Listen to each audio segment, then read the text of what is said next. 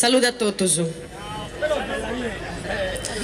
Allora, io oggi parlo come, parlo come donna, parlo come trentenne, parlo come musicista e sono molto contenta che oggi ce ne sono tanti di musicisti che fanno tantissimo per la Sardegna e fanno un lavoro incredibile con sacrifici e salti mortali davvero, davvero, davvero tosti e non è facile fare cultura oggi però io sono convinta, ne sono certa, che non sono i tafferugli, non sono gli atti intimidatori, ma è la cultura che ci salverà, ne sono certa. Ci salverà la cultura e ci salverà la consapevolezza di avere un valore.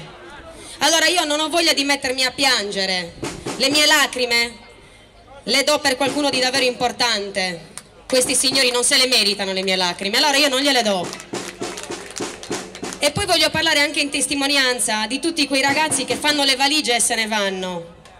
Allora io ho deciso di restare qui e quindi voglio parlare in nome di tutti quelli che hanno scommesso con coraggio di restarci in Sardegna e di scommettere su questa terra e di lavorare.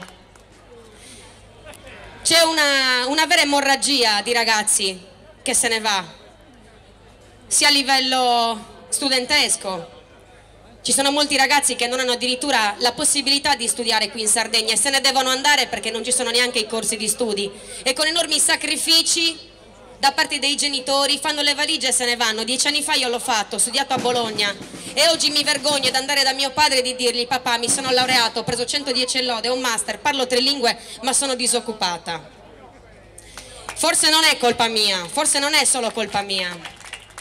Io ce l'ho messa tutta, così come ce l'hanno messa loro però c'è ancora una chance. Io ne sono convinta, per me non è ancora tutto finito.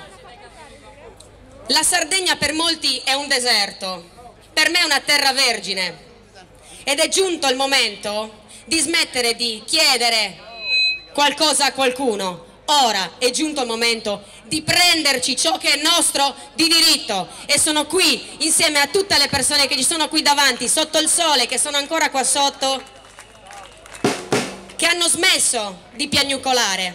Adesso ci prendiamo le nostre responsabilità, adesso ci mettiamo la faccia e siamo pronti, donne e uomini di Sardegna, a governare. Perché fino a che non saremo pronti a prenderci le nostre responsabilità, nulla potrà cambiare.